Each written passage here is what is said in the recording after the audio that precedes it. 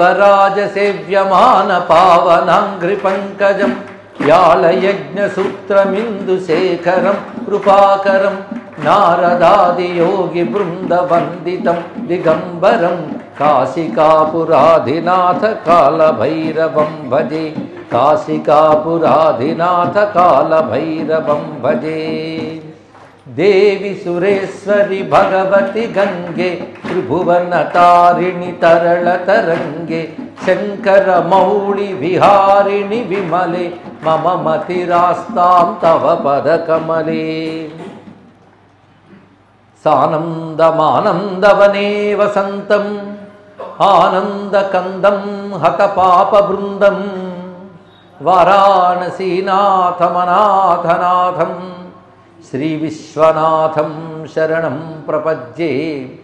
श्रीविश्वनाथं शरणं प्रपद्ये। श्रीमत्परस्मै निजचिद्घनाय गौरीतपःपूर्णफलप्रदाय केदारनाथाय नमः शिवाय नमो नमः कारणकारणाय। నమో మహద్భ్యో ఋషిభ్యో గురుభ్యో నమ. పంచక్రోశాత్మకాయ మహాలింగాయ జ్యోతిర్లింగస్వరూపాయ శ్రీ కాశీ విశ్వేశ్వరాయ నమో నమ.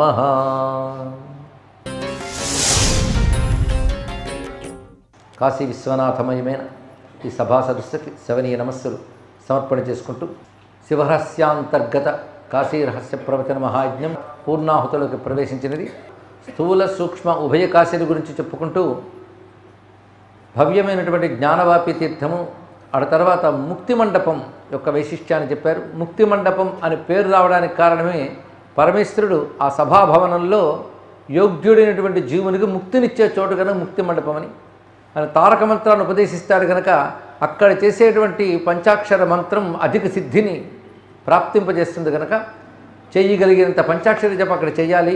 మహాత్ములు అక్కడ ఉన్నటువంటి పాలకుల అనుమతితో చేస్తారు. పాలకులు అంటే సూక్ష్మ భూమికలో ఉన్నటువంటి శివుని యొక్క గణములు. వారిని ప్రార్థించి ఆ మండపంలో జపం చేసి సిద్ధి పొందుతారు. ఎవరైనా సరే అంతర్గృహయాత్ర మొదలైన చేసేవారు చివరికి వచ్చే ముక్తి మండపంలోనే జపం చేసుకోవాలి అనే నియమాన్ని చెప్పి గణపతిని ఆరాధించడం వల్ల కాశీకి వచ్చే యోగ్యత అదృష్టం లభించి ఒక మహానుభావుడు హిమావత్ పర్వత ప్రాంతాల నుంచి వచ్చి అంతర్గృహ యాత్ర చేసి ముక్తి మండపంలో జపం చేసి అక్కడే తనువు చాలించి పరమేశ్వరుని ఎందు ఐక్యం అవడం సన్నివేశంతో నిన్న పూర్తి చేసుకున్నాం. అయితే ఈ సందర్భంలో జ్ఞానవాపి చెప్పేటప్పుడు జ్ఞానవాపి రక్షకుడిగా దండపాణిని ప్రస్తావన చేశారు. ఆ విషయాన్ని ఇక్కడ తిరిగి జైగీషవ్యం ఋషులందరూ అడిగారు. దండపాణి గురించి చెప్పావు ఆయన స్థిరంగా ఇక్కడ ఉంటాడు దండపాణి. ఏ పుణ్యం చేసుకోవడం వల్ల అతను స్థిరంగా ఉన్నాడు? ఇది అడుగుతున్నారు. గణపతి ఎలా ఉండేడు? కాలభైరవుడు ఎలా ఉన్నాడు? అడగవలసిన అవసరం లేదు. వారు ఎలాగూ శివపరివారం వారి ఈ దండపాణి ఎవరు? ఏ పుణ్యం వల్ల కేన పుణ్యప్రభావేన దండపాణి స్థిరం స్థిత? పురాచిర్ణం కిమేతేన తపశ్చర్యా కథం కృత అతను ఎటువంటి తపశ్చేత ఎటువంటి భాగ్యాన్ని పొందాడు? అంటే పరమేశ్వరుడు పార్వతీదేవికి ఆనతిచ్చిన దాన్ని స్కందుని ద్వారా తాను తెలుసుకున్న దాన్ని జైగీషవ్యుడు తెలియజేస్తున్నాడు హరికేశవనన్నామ కాశ్యామేకం వరానని. కాశీలో హరికేశవనం అని ఒక గొప్ప వనం ఉన్నది. ఆ వనం ఎంత గొప్పగా ఉన్నదో ఇక్కడ వివరిస్తున్నాడు. ఇలాంటి దివ్య వనములు చాలా చాలా కాశీలు ఉండేవి అని. ఇప్పుడు పురా అని మారిపోయాయి భేల్పుర అంటున్నాం. ఒక బిల్వ వనం అది ఒకప్పుడు. అలా కొన్ని ప్రాంతములు అరణ్యములు పురములుగాను వీధులుగాను మారిపోయి పేరుకు మొక్కలు మిగులుతున్నాయి చెట్లు మిగులుతున్నాయి కానీ వనాలు తగ్గిపోయాయి. కానీ లేక కాదు ఇప్పటికీ కొన్ని చోట్ల ఉన్నాయి. సూక్ష్మ భూమికలు ఈ వనములన్నీ ఉంటాయి. అందులో దివ్యమైనటువంటి ఈ వనం ఎలా ఉందో చెప్తూ బిల్వ మందార పున్నాగ పూగ లోధ్ర ద్రుమాద్వృతం దివ్యమైన వృక్షముల పేర్లు ఎక్కడ వరుసగా చెప్తున్నాడు. ద్రాక్ష రసాల రుద్రాక్ష కోవిదార వనాశ్రయం ఖర్జూర నారికేళామ్ర కరవీరైర్ విరాజితం జంబీర హేమకదలి తాళసాల సమావృతం ఆమ్రాత కర్జునాశ్వత్థ కేతకీ తరు సంవృతం నానావిధ లతాకిర్ణం నానాద్రుమ విరాజితం ఇలాంటి భవ్యమైనటువంటి హరికేశవనం ఉన్నది. ఈ హరికేశవనం అందులో చక్కని సరస్సు కూడా ఉన్నది. ఆ సరస్సుకి రత్నములు తాపిన స్వర్ణ సోపానములు ఉంటాయి. స్వర్ణ కమలములు అందులో వికసిస్తూ ఉంటాయి. ఆ ప్రాంతం అంతా కూడాను శివభక్తులతో కూడి ఉంటుంది. ఆ సరస్ తీరంలో ఈ వనంలో ఎందరో శివభక్తులు శివచిహ్నములు ధరించి సాధన చేస్తుంటారు అలాంటి దివ్యమైన వనంలో తత్రే విమలే స్థానే దండపానిర్యం శుభే పంచవత్సరకో బాలహ తపశ్చక్రే దృఢవ్రత అలాంటి హరికేశ వనంలో ఐదేళ్ళ పిల్లవాడిగా తపస్సును ప్రారంభించి చేసుకున్నాడు దండపాణి. అంటే ఇవాళ ఐదేళ్ళ పిల్లవాడిగా తపస్సు చేస్తున్నాడు కనబడుతున్నాడు కానీ అతడు పురా హిమాలయే రమ్యే నానా ధాతు విరాజితే. గత జన్మలలో గత జన్మలో కాదు గత జన్మలలో ఎప్పుడో పూర్వం ఆయన హిమవత్ పర్వత ప్రాంతంలో తపస్సును ఆచరించాడు. అది అనంత వత్సర వత్సరములు అంటే లెక్క కందన్నటువంటి దివ్య వర్షములు తపస్సును ఆచరించాడు. దివ్య సంవత్సరములు తపస్సును ఆచరించాడు. ఎలా అంటే నిమీలితాక్షో నియతో నిస్సంగ శివచింతక ఏకైనాంఘిణా స్థిత్వా చక్రే ఘోరతరం తప ఏకపాదంతో నిలబడి స్థిర సంకల్పంతో నిమీలితనైనుడై నియతుడై అంటే నియమబద్ధముగా నిస్సంగుడై శివచింతనతో తపస్సును ఆచరించాడు. బహుకాలం తపస్సును ఆచరించాడు. మామూలుగా కదా. చాలా సం సంఖ్యలతో కొన్ని సంవత్సరాలు. ఏవం బహువిధం ఘోరం తపకృత్వా స్థితం ముదా లింగార్చన రతేనర్థం బాలకేనేవ తేనహి. అప్పుడు కూడా బాల్యం నుంచే తపస్సును ఆచరించాడు. అటువంటి కఠినమైన తపస్సుకు ఫలితంగా పరమేశ్వరుడు నందీశ్వర మారుహ్య వృషభవాహనారూఢుడై అమ్మవారితో సహా అతనికి ప్రత్యక్షమై నాయన నీకేం కావాలని అడిగాడు. అప్పుడు ఆయన కోరుకున్నది వరోపయాచితస్తేన శివే భక్తి దృఢాస్థితి శివుని ఎందు దృఢమైన భక్తి కలుగ్గాక అనేది వరం కోరుకున్నాడు. ఇంకేమీ కాదు.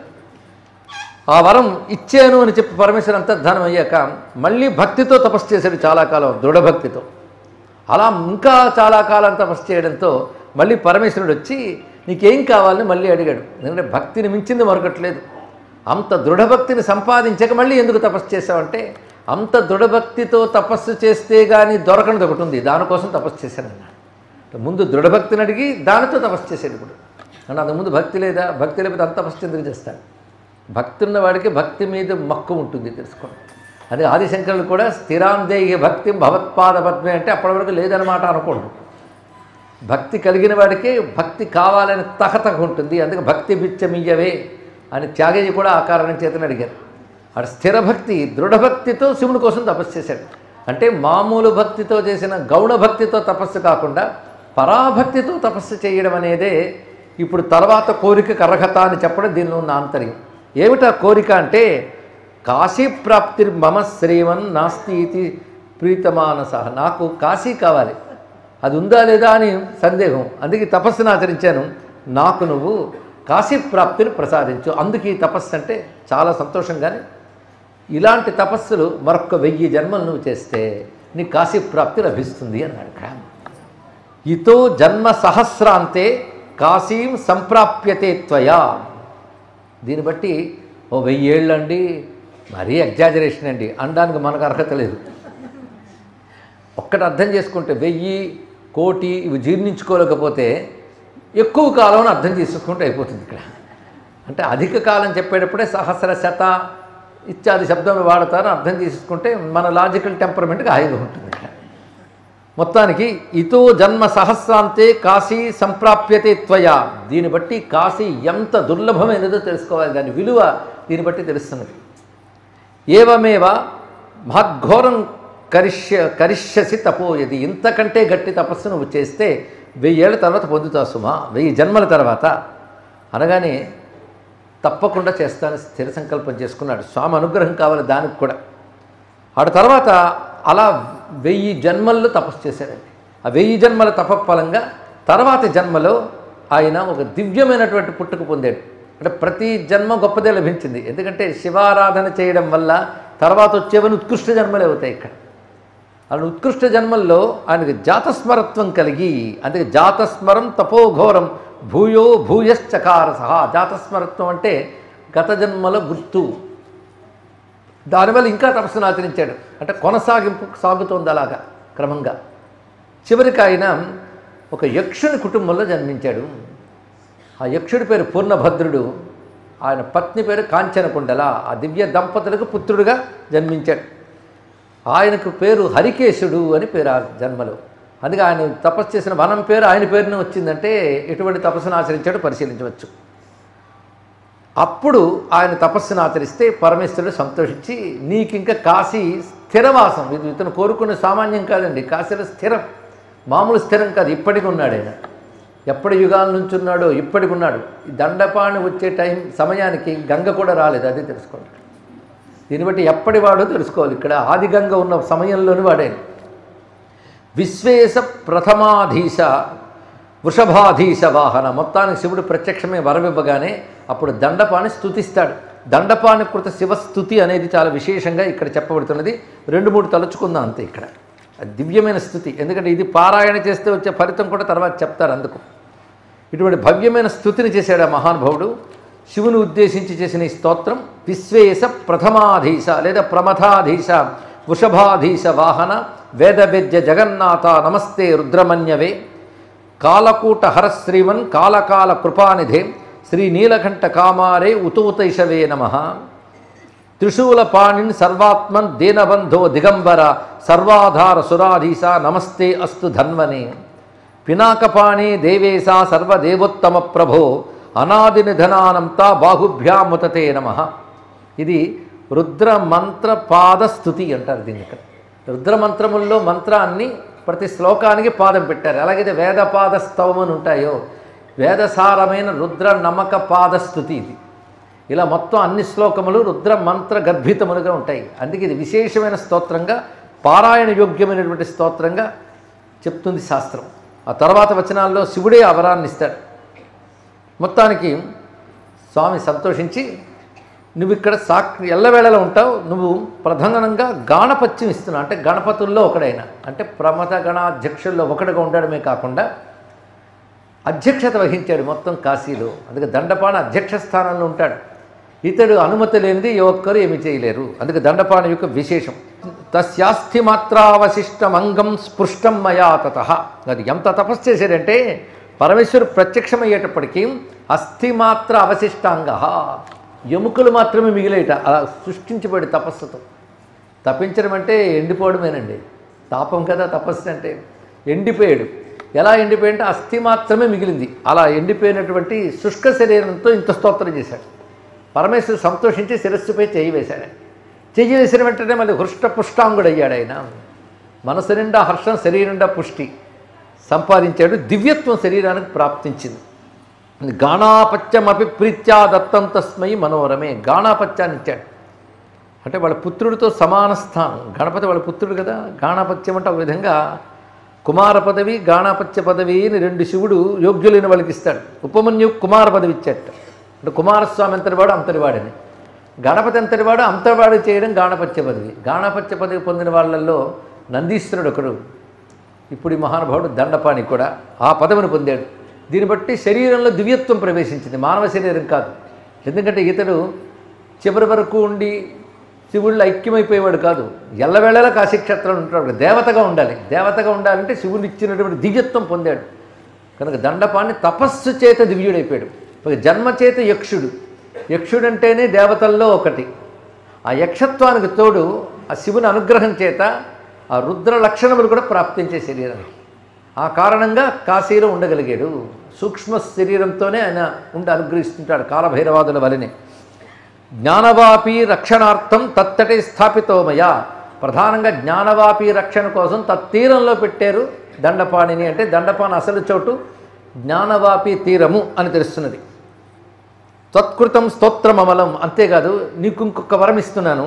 నువ్వు చేసిన ఈ స్తోత్రాన్ని ఎప్పటే సతతం శుచి ఎవరైతే నువ్వు చేసిన ఈ రుద్రమంత్ర పాదముతో కూడిన స్తోత్రాన్ని పఠిస్తారో. వాళ్ళకి కాశీవాసోని సంతస్య భవతి ఇది వరాలని. వాళ్ళకి కాశీవాసం ఇస్తాను అని చెప్పి ఓ గౌరీ అతనికి నేను వరం ఇచ్చాను అని శివుడు పార్వతికి చెప్తున్నాడు ఇక్కడ. అంటే ఈ స్తోత్ర మహిమ తెలిసింది కదా.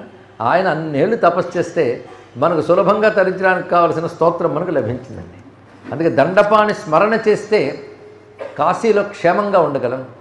కాశీవాసానికి విఘ్నాలు తొలగడమే కాకుండా కాశీలో వసిస్తున్నప్పుడు కాశీలో యాత్ర చేస్తున్నప్పుడు కూడా దండపాణ అనుగ్రహం ఉంటే క్షేమంగాను తృప్తిగాను కూడా జరుగుతుంది. తత్రీ విమలే స్థానే దండపాణిరయం శుభే పంచవత్సరకో బాలహ పంచవత్సరక బాలుడుగానే ఆయన సాధన చేసి ఇటువంటి అనుగ్రహాన్ని పొందాడు సుమా అని చెప్తున్నారు. అయితే దండపాణి దగ్గర అనేక శక్తులు ఉంటాయి దండపాణి భ్రమ విభ్రమ అనే ఇద్దరు శక్తులతో ఉంటాడు అని కొంతమందికి తెలుసు ఇక్కడ. ఒకప్పుడు విశ్వనాథ మందిరం దగ్గర డుంఠి గణపతి గల్లీలో ఉండేది అది ప్రస్తుతం మార్పు చెంది కొత్తగా మళ్ళీ పెట్టారు. వీళ్ళ చోట్లు ఏవైనప్పటికీ దండపాని చోటు ఏదో గుర్తుపెట్టుకుని. ఇప్పుడు విగ్రహం పెట్టిన చోట కూడా మనం వెళ్ళి నమస్కారం చేసుకోవాలి. ఎందుకంటే భగవంతుని ఉద్దేశించి బింబాన్ని పెడితే భగవత్ శక్తి దాని ఎందుకు కేంద్రీకృతమై ఉంటుంది. కనుక వాటిని నమస్కరించాలి.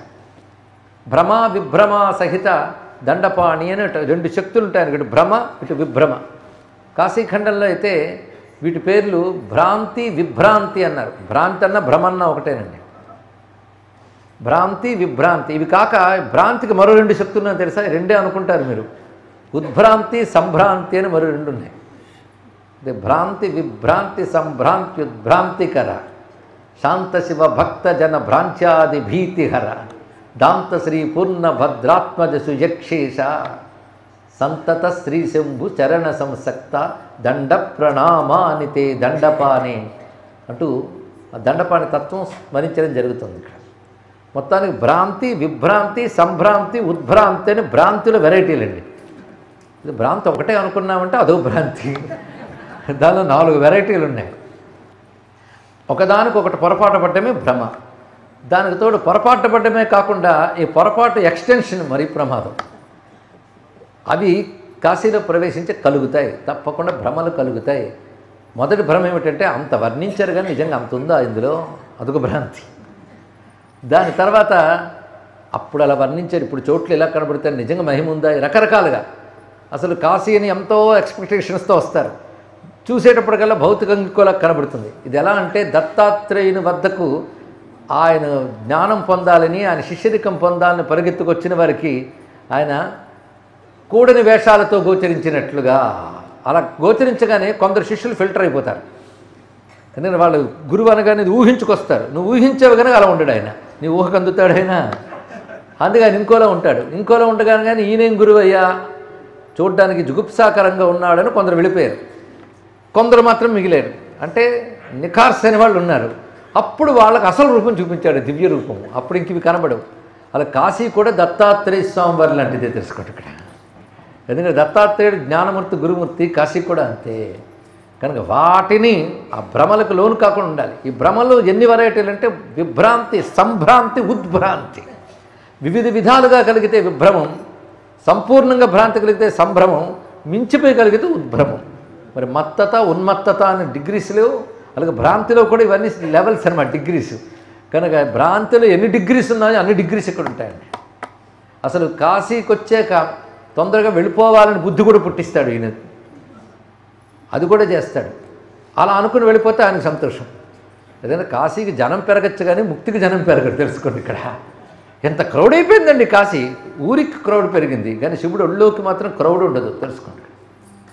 ఎందుకంటే స్వర్గాది లోకాలే క్రౌడ్ క్రౌడెడ్గా ఉండవట తెలుసా మీకు? ఇంతమంది పుణ్యాత్ములు ఎక్కువైపోతే స్వర్గం ఎలా ఉంటుందండి? జనం పెరిగిపోరా అంటే అందుకే ఎప్పటికప్పుడు వేకెంట్ అయిపోతుంటుంది అది ఎందుకంటే మీరు కొంతమంది ఉంటారు పుణ్యాత్ములు. స్వర్గంలో ఉండడానికి కూడా అంత గొప్ప పుణ్యాలు కలిగిన వారు ఎవరుండరు. అక్కడికి వెళితే ఆ పుణ్యాలు ఖర్చు చేయక మళ్ళీ ఇక్కడికి వచ్చేస్తారు వాళ్ళు. కానీ వెళ్ళేదే తక్కువ మంది ఎప్పటికెప్పుడు వేకెంట్. కానీ వెళ్ళిన వాళ్ళు వెళ్తారు మరి కొంతకాలం ఉండొచ్చేస్తుంటారు. అలాంటిది ముక్తి కంటే ఇంకెంత తగ్గిపోతారో ఆలోచించుకోండి. పుణ్యానికే జనాభా తక్కువ. ముక్తిక ఇదిగో కొన్ని వేల సంవత్సరాలు కఠినమైన తపస్సు చేస్తే కానీ కుదరలేదంటే ఇలాంటి వాళ్ళు ఎక్కడ దొరుకుతారండి? వినగానే అనిపిస్తే అబ్బా మన వల్ల కాదు బాబు అని ముందు అనుకుని వింటాం మనం. సామాన్యం కాదు ఇక్కడ. అందుకే భ్రాంతి విభ్రాంతి ఇటువంటి కలిగించుతాడు. అవి కలిగించకుండా ఉండడం కోసం ఆయన ప్రార్థిస్తే ఆశ్రయించిన భక్తులకి కాశీని చేరి నియమబద్ధంగా జీవించిన భక్తులకి భ్రమలు తొలగిస్తాడు ఆయన. అందుకు అవి తొలగించి కాపాడవయ్యా కలిగించకయ్యా అనాలి. ఎందుకంటే విఘ్నకారకుడు గణపతి అంటే విఘ్నాలు కలిగించగలడు తొలగించగలడు. అలాగే భ్రాంతి నాశ కూడా భ్రాంతి కారకుడా అంటే భక్తి లేని వారికి భ్రాంతి కలిగిస్తాడు భక్తి ఉన్న వారికి భ్రాంతి తొలగిస్తాడు కూడా అన్నారు ఇక్కడ. అదే నాలుగు రకాల భ్రమలని తొలగించే శక్తులతో కూడి ఉంటాడు. పేరుకి ఇద్దరు కనబడుతున్నారు కానీ అందులోంచి మళ్ళీ ఇద్దరు ఉన్నారు. దండపాణికి మనం నమస్కారం చేసుకుంటున్నాం. అయితే శివరహస్యంలోని కాశీ రహస్యం వినడం ఒక యోగం అని మనం చెప్పుకున్నాం. సాధకులకి అందులో కాశీ అనుగ్రహం కావాలనుకునేటువంటి యాత్రికులకు కానీ కాశీవాసం చేయాలనుకునే వాళ్ళకి కానీ కావలసినటువంటి సులభ ఉపాయములు శివరహస్య కాశీ రహస్యం ఇచ్చినట్లుగా ఇంకే గ్రంథంలో కనబడవండి. ఇంత చక్కటి ఉపాయాలు చెప్తున్నాడు. ఇక్కడ దండపాన్ని ఉద్దేశించి నామాష్టకము చెప్తున్నాడు. ఎనిమిది నామములు నిత్యం జపించినట్లయితే దండపాని కృప లభించి వాడి కాశీమాత అనుగ్రహం కాశీవాసం లభిస్తుంది అంటూ శివప్రియో దండపాణి పూర్ణభద్రసుతో నగ. యక్షేశ కరుణాసింధు ధూతపాపో గణేశ్వర. ఏతన్నామాష్టకేనైవ ప్రత్యహం శివతత్పరై పూజనీయ ప్రయత్నేన కాశీవాసిభిరాదరాత్. కాశీవాసులు ప్రతిరోజు ప్రత్యహం అంటే ప్రతిదినమును దండపాన్ని ఆరాధన చేయాలి. ఈ పది నామాలతో ఆరాధన చేస్తే ఆయన ప్రసన్నుడవుతాడు. శివప్రియ దండపాణి పూర్ణభద్రసుత అనఘ యక్షేష కరుణాసింధు ధూతపాప గణేశ్వర. వీడికి చతుర్థ్యంతం చేసి నామాలు చెప్పుకోవాలి. అప్పుడు శ్రీ శివప్రియాయ నమ శ్రీ దండపాణయే నమ శ్రీ పూర్ణభద్ర సుతాయ నమ శ్రీ అనఘాయ నమ శ్రీ యక్షేశాయ నమ శ్రీ కరుణాసింధవే నమ శ్రీ ధూతపాపాయ నమ శ్రీ గణేశ్వరాయ నమ. ఈ ఎనిమిది నామాలు వినిప్పుడు ధన్యులమయ్యాం దీన్ని బట్టి శి- శివరహస్య కాశీ రహస్యం ఎంత అనుగ్రహాన్ని మనపై వర్షించిందో చూడండి ఇక్కడ. మొత్తానికి దివ్యమైన ఈ నామములతో దండపాన్ని నర్చించినటువంటి వారు ధన్యులు అని చెప్తూ అయం యక్షకులోత్పన్నం బాలోపి మదనుగ్రహాత్ సామర్థ్యమిదృశం ప్రాప్య తిష్టత్యతి బలాన్విత. బాలుడైనప్పటికీ కూడాను తపోబలం చేత నా ప్రీతికి పాత్రుడై మహాబల సంపన్నుడై దండపాన గొప్ప బల సంపన్నుడు కూడా. ఉంటూ కాశీలో స్థిరంగా ఉండి శాసించగలిగేటువంటి సామర్థ్యాన్ని నా వల్ల పొందాడు అని తెలియజేసి తర్వాత మరొక విశేషమైనటువంటి అంశమని ప్రస్తావన చేస్తున్నాడు. ఇందులో చెప్తున్న ప్రతిదీ దివ్యధామములు కాశీలో ఉన్న దివ్యధామములు ఏకకాలంలో స్థూల సూక్ష్మ భూమికలు రెండు చెప్తున్నాడు ఇక్కడ. దేవతా స్వరూపం సూక్ష్మం ప్రతిమాదులు స్థూలం మళ్ళీ చెప్తున్నాం. మరి దండపాణి విగ్రహం చూశారు జుండి గణపతిని చూశారు. గణపతిని చూశారా? విగ్రహాన్ని చూశారు. విగ్రహాన్ని చూశారా? కదా గణపతిని చూశారు. అంటే అర్థం విగ్రహాన్ని చూసినప్పుడు గణపతిని స్మరించగానే గణపతి అనుసంధానింపబడుతున్నాడు. కనుక మామూలు కంటికి విగ్రహం కనబడుతున్న సూక్ష్మ భూమికలో గణపతి ఉంటాడు.